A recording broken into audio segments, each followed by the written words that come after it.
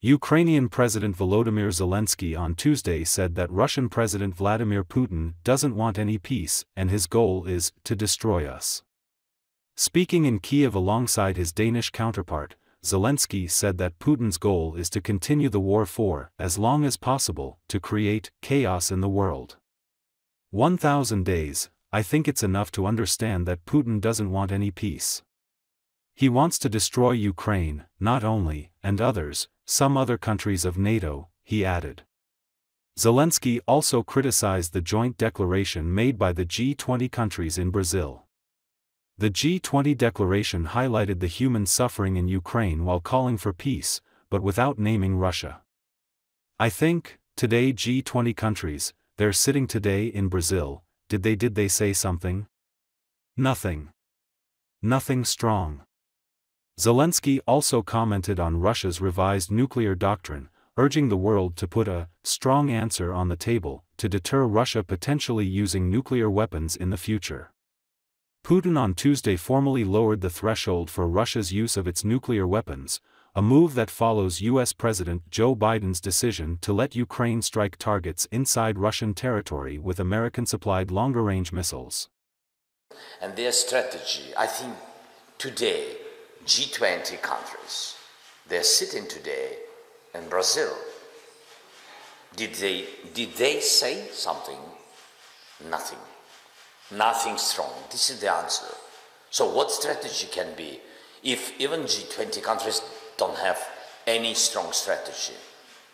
So our strategy is to be strong and if when Putin even speaking, begin to speak about nuclear weapon, the world has to put answer on the table, really strong answer on the table, what they will do if Putin will use something like this weapon or other things.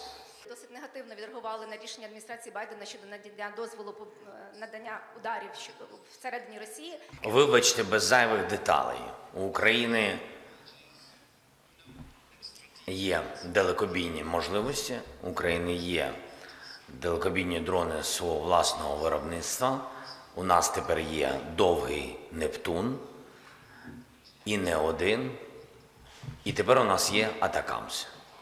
І ми все це будемо використовувати. Прес-конференція добігла кінця. Дякую. A spokesman for Russian President Vladimir Putin said Tuesday that the doctrine on nuclear deterrence was revised to stay in line with the current situation. The Russian Federation reserves the right to use nuclear weapons in case of aggression with the use of conventional weapons against it and or against the Republic of Belarus as a member state of the Union State, which causes a critical threat to both their sovereignty and or territorial integrity, said Peskov. Aggression against the Russian Federation by any non-nuclear state with the participation or support of a nuclear state is considered as a joint attack, he added. Putin signed a new doctrine Tuesday that lowers the threshold for using nuclear weapons. Putin's endorsement of the new nuclear deterrent policy comes as the conflict in Ukraine marks the 1,000-day milestone since he sent troops into Ukraine on February 24, 2022. It follows President Joe Biden's decision to let Ukraine strike targets inside Russia with US-supplied longer-range missiles. The signing of the doctrine, which says that any massive aerial attack on Russia could trigger a nuclear response, reflects Putin's readiness to tap the country's nuclear arsenal to force the West to back down as Moscow is pressing a slow-moving offensive in Ukraine. Почему это потребовалось? Нужно было привести в соответствие наши основы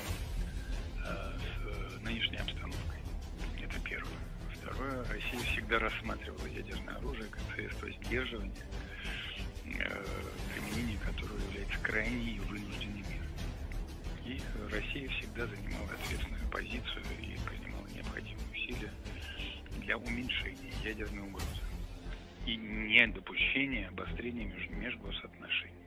Ядерное сдерживание направлено на обеспечение понимания потенциальным противникам неотвратимости возмездия в случае агрессии против Российской Федерации и или ее союзников. Российская Федерация оставляет за собой право применить ядерное оружие в случае агрессии с применением обычного оружия против нее и или Республики Беларусь, как государства-участника союзного государства, создающий критическую угрозу их суверенитету и или территориальной целостности. Да, об этом говорится. Значит, агрессия против Российской Федерации со стороны любого неядерного государства с участием или при поддержке ядерного государства рассматривается как их совместное нападение.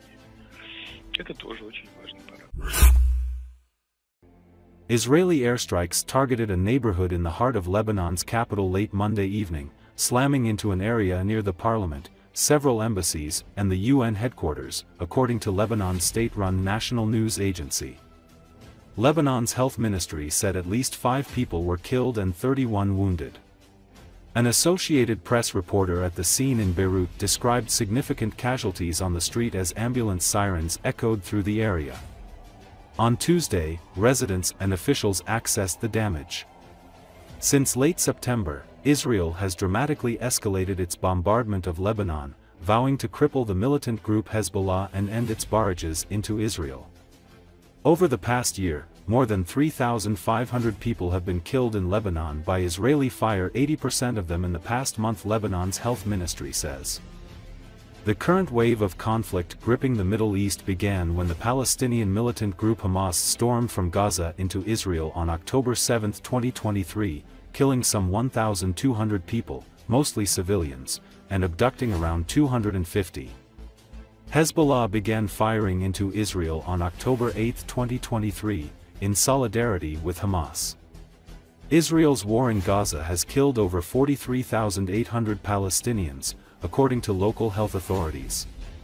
The officials do not distinguish between militants and civilians but say most of those killed are women and children. The fighting has left 77 people dead in Israel, including 31 soldiers.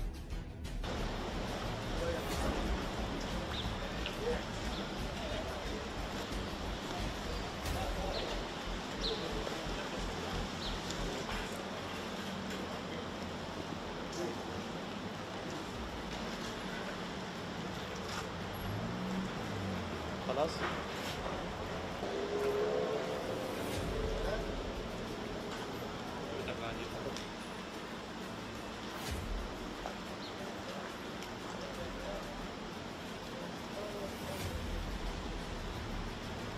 مارق من هون امبارح. ما في خمس دقايق بيني وبينهم. وصلت على الدرج وطلعت الدبة. أول دبة وثاني دبة. آه، ما لقيت إلا عائلتي حملت حالها ونزلت على الطريق ونزلوا عن المريسة. وين بدنا نروح؟ الله بيعلم.